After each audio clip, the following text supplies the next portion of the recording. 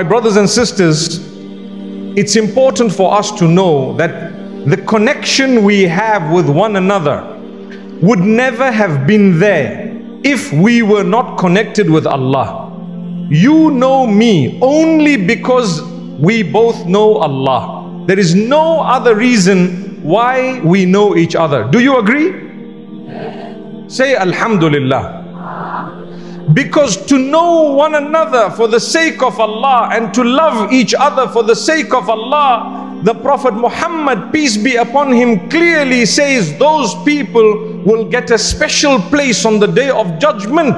رَجُلَانِ تَحَابَّا فِي اللَّهِ اجْتَمَعَا عَلَيْهِ وَتَفَرَّقَا عَلَيْهِ Two people who love each other for the sake of Allah. They came together for Allah, they departed for Allah those they deserve the shade on the day of judgment from Allah subhanahu wa ta'ala. So we thank Allah. I always sit and, and think about the gifts of Allah and the favors upon us.